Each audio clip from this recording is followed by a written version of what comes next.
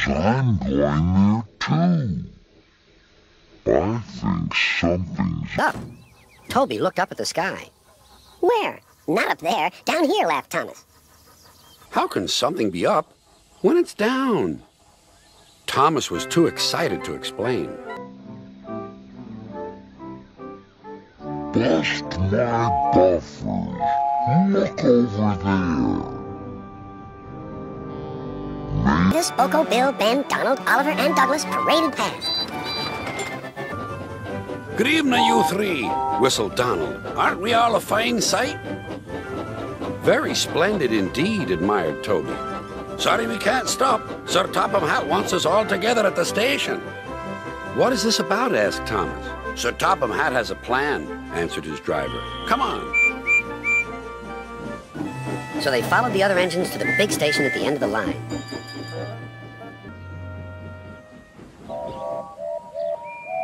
Silence, called Sir Topham Hatt.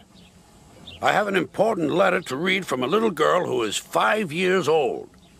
Dear Thomas and all the engines, please can I meet you? My friends say they would like to meet you too. You could come to my house for tea, but my mummy says there aren't any railway.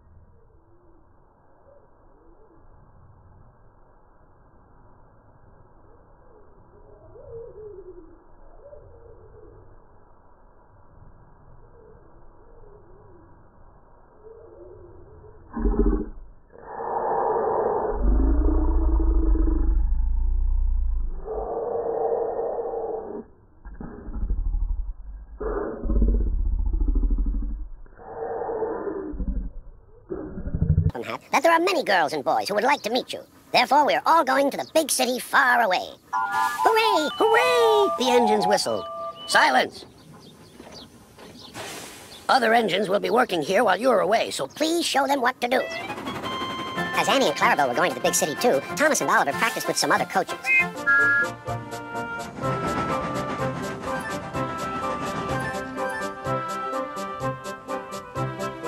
Thomas grew more and more excited. Too excited for his own good. I'm glad I'm a splendid engine, he puffed. Sir Topham Hatt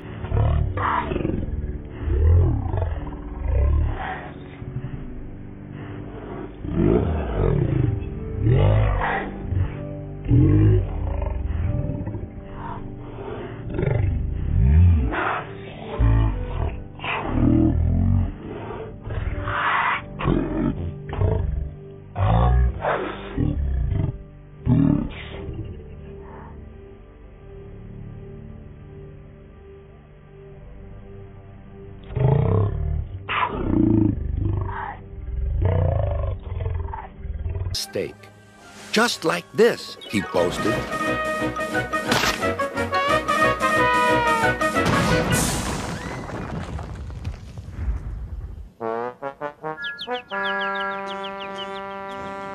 No one was hurt, but Thomas's front was badly bent.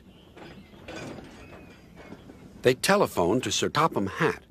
I'll send up the workmen, he said.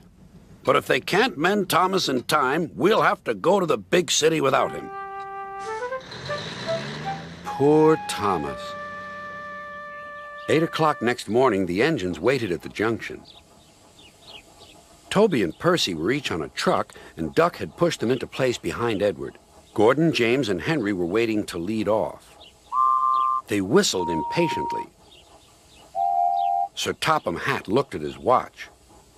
I'll wait one more minute for Thomas, then we have to go.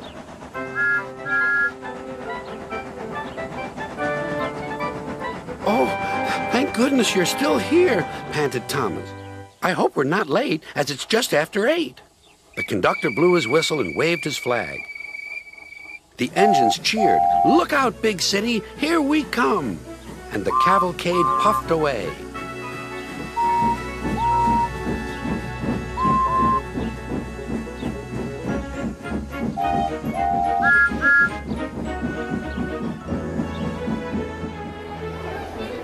Later in the big city, all the engines were lined up in a splendid shed. The children were delighted to meet their friends. I'm glad the little girl wrote to us, whispered Thomas to Percy. Isn't it wonderful what happiness a letter can bring?